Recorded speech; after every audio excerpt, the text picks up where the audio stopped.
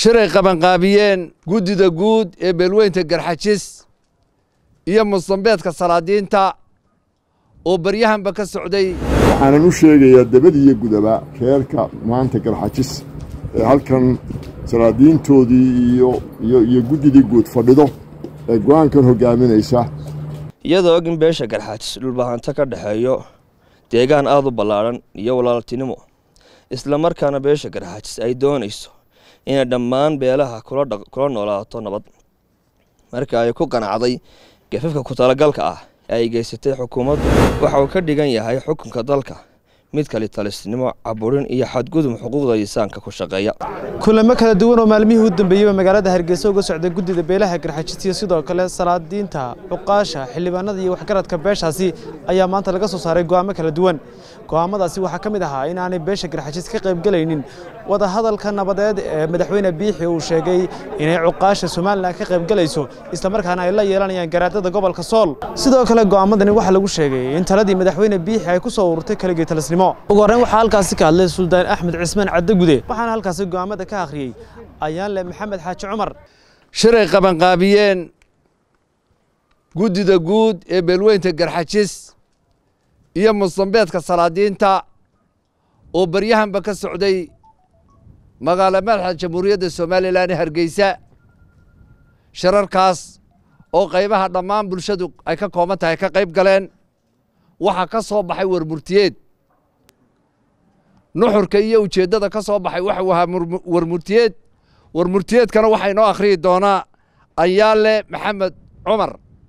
Biidni illaahi tacala halkaasay ujeeddadoo dhammi ku dhan tahay ayaalan ku soo dhoweynayaa si warmurtiyeedka u akhriyo maantu ay bishu tahay sagaal iyo tobanka bisha labaad laba kun saddex iyo labaatan. Halkan waxaynu ka akhriyi doonaa bayaanka ay soo saartay guddida guud ee beelweynta garxaji iyo salaadiinta mustabeedka. Hordhaca dhismaha dowladnimada iyo nabadda somalilan waxay ku qontontahay heshiis bulsho oo ay gaadheen beelaha wada degan somalilan heshiiska waxaa lafdhabar u ah wadatashi isku tanaasul isqancin nabadgelya iyo ilaalinta xuquuqda asaasiga ah ee bulshada iyada oo laga duulayo xereerka caalamiga ah iyo xuquuqliisaanka iyo maqaasida shareecada islaamka dastuurka somalilan waxa uu arartiisa ku tilmaamay in dadweynaha somalilan uu ay arag u yahay cidhubxumada iyo dhibaatada xukun ku dhisan talamaroorsiga iyo kalitalisnimada kana feejigan yahay dib ugu noqoshada xukunka noocaasa waxaa cad in xukuumadda muuse biixi cabdi uu si cad ugu xadgudbay heshiiskii bulsho ee ka dhexeeya beelaha wadadega somalilan islamarkaanu ka tallaabsaday dastuurka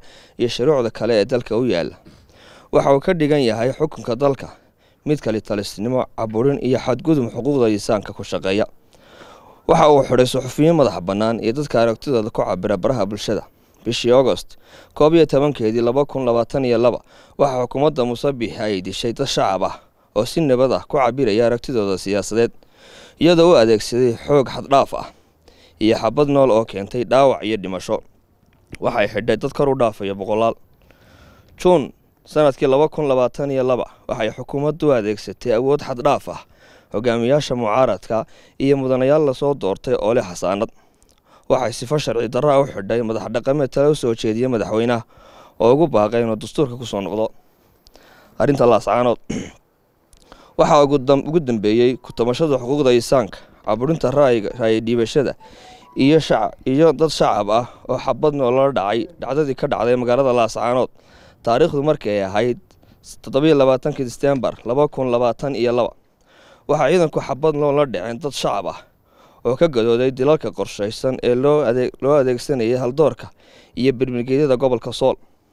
Muddadii tobanka sannadood ka badan caburintaas waxay la mid tahay habdhaqanka lefsan ee uu caadaystay xukunka muuse biixi xukuumadda muuse bixi waxa ay diiday inay fuliso hadaladii heshiiskii lala galay rofesor cali khaliif galaydh oo muddo badan daba socday in somalilan heshiiska hirgeliso waxaa muuqata in sidaa ay xukuumaddu uga falcelisay mudaharadadii dadka shacabka ahaa ee laba ay ka sameeyeen laascaanood uu ahaa mid qaldan iyadoo habka ay u martay uu yahay mid ka baxsan qaababkii somalilan lagu yaqaanay shuruucda iyo xeerarka caalamiga ah ee xuquuqliisaanka waxaa cad in dhibtaas lagu maarayn karayey si ka duwan xabad iyo xoog ciidan beesha karxajis oo maalmihii u dambeeyey lahayd wadatashi iyo shirar ballaadhan oo ay ka soo qayb galeen qaybaha kala duwan ay beeshu leedahay.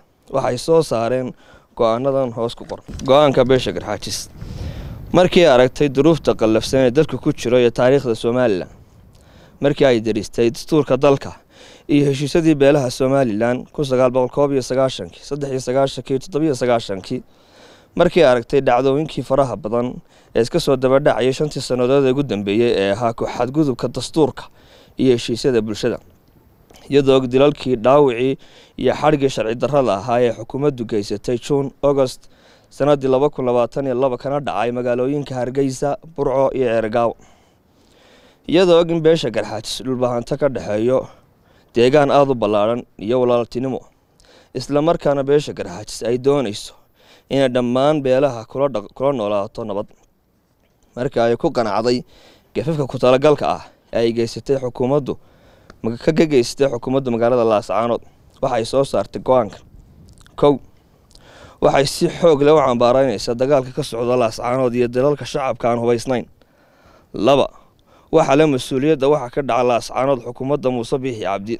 Saddex beesha garxaajis waxay go'aansatay in aanan ka qeybgelin kana mid ahayn ergada uu sheegay muuse biixi inuu dirayo laascaanood sababtoo ah ma qaadi karno kalsoonida inuu aqbalayo go'aamada ay ergadu gaadho. Annagoo ku xisaabtamayna dhaqankii hore looga bartay. Iyo in magaalada laascaanood ay ka socoto xabad aanu jirin jawi nabadeed oo lagu wada hadli karo. Afar waxaanu tacsi u diraynaa dadkii ku dhintay laascaanood ehelkooda iyo qaraabadoodaba shan go'aankan waa mowqifka rasmiga ah ee beesha garxaajis. Mana jirta cid kale oo ku hadli karta magaca iyo afka reerka ama kaga qeybgeli karta shir magac iyo afka reerkaba. Tala soo jeedin. Beeshu waxay soo jeedinaysaa oo ay xal u aragtaa kow in si run ah loo joojiyo xabadda. Laba in ciidamada la kala fogeeyo oo la geeyo meel aan xabaddu iska gaari karin si xabad joojinta u hirgasho. Saddex in la joojiyo hadallada xanafta leh ee wax kala fogeyn kara. Afar xukuumaddu waa inay ciidankeeda geyso meel aan xabaddu iska soo gaari karin islamarkaana waa inay si dhab ah u xakamayso ciidankeeda si xabad joojinta u hirgasho. Shan garaadada guddida culimada iyo waxgaradka beesha dhulbahantee waxaan ugu baaqaynaa inay qeyb ka qaataan fulinta xabajoojinta iyagoo ka qaadanaya doorka kaga beegan ee ah xakamaynta ciidanka. Lix in aan wax caqabad ah lagu samayn kaalmada biniaadamnimo ee la gaadhsiinayo shacabka ku barakacay dagaalka sokeeye iyo dadka dhaawacu soo gaadhay. Bilaahi towfiiq wasalaamu calaykum raxmatullahi barakatu iyadoo dee shirku intan ka ballaadhnaa ama uu ka baaxad weynaa intanu ay tahay guddigii iyo mustambeedkii salaadiinta iyo odayaal iyo adigu maarata waxgarad kooban. Haddaa iyo tilmaantaa kadib halkaa qoraalkaa laga akhriyey waa qoraalka rasmiga ah ee reerka waana maxahayday sidaasaanu maxahayday aniguna aan ku guddoominayaa? Haddaan ahay sudaankii guud.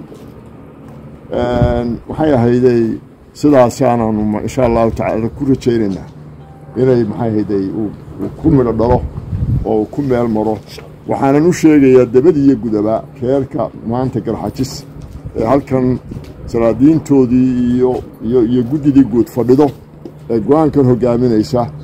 Dabadii iyo gudaba meel kastay joogaan inay la socdaan go-aankaa qaataan weelaystaan insha allahu tacaala maxayday dee ku dhaqankiisa iyo iyo iyo maxayday iyo kawada socodkiisana aan ka wada soconno aad iyo aad baan mar labaad iyo mar saddexaad idiin salaamayaa ibrahim jokar c b a t v hargeysa